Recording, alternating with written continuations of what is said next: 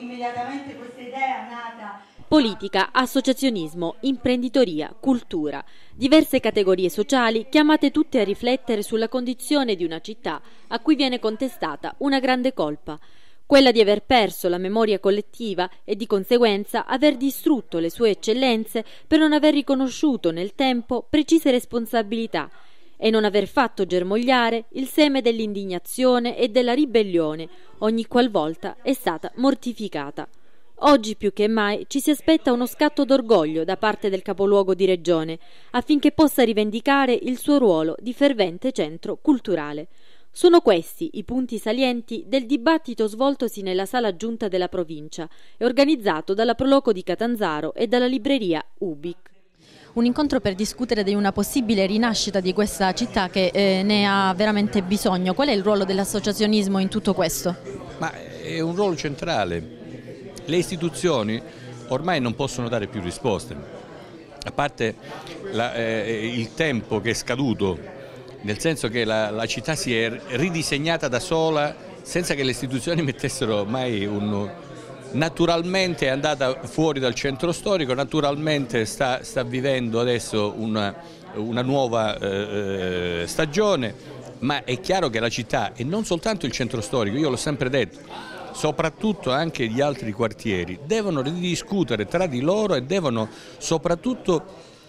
comprendere quale potrà essere il nuovo ruolo e soprattutto eh, ridisegnarlo per il futuro. Bisogna avere una programmazione e capire la vocazione che ha Catanzaro. Se prima non si capisce questo è chiaro che nell'isolamento economico ci rimarrà sempre. Come Confindustria, come imprenditori possiamo sì, pensare a qualcosa eh, però ripeto, se non si ha una vocazione, non si capisce qual è la vocazione e non si imbocca la strada giusta. Quando si parla è, è chiaramente un fattore positivo e quando non ci sono individualismi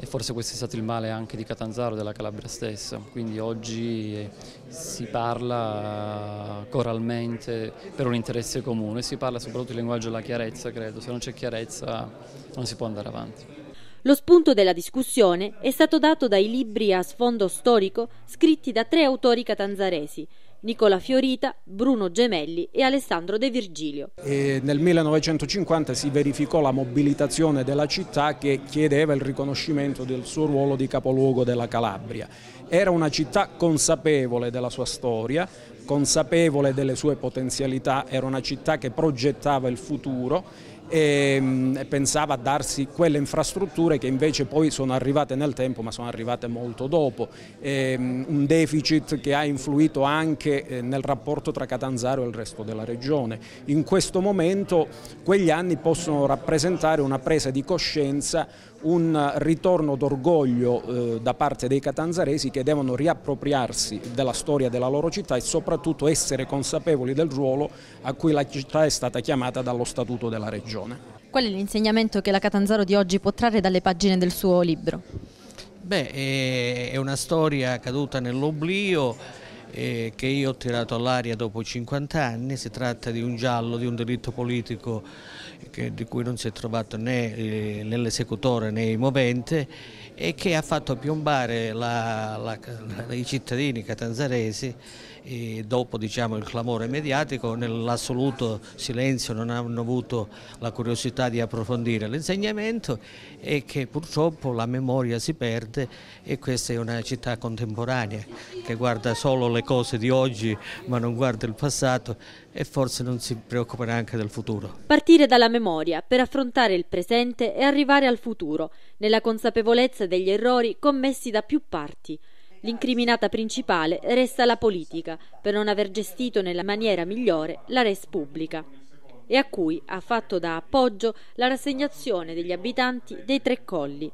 Chiamato in causa, il primo cittadino ha affermato mi sento un po' sul banco degli imputati, essendo stato tre volte sindaco ma passa subito al contrattacco, rimarcando la responsabilità dei cittadini, che non hanno mai sollevato una sommossa popolare di fronte a decisioni illegittime prese da chi era al potere, la responsabilità degli ordini professionali, che non hanno mai proposto una bozza di piano regolatore.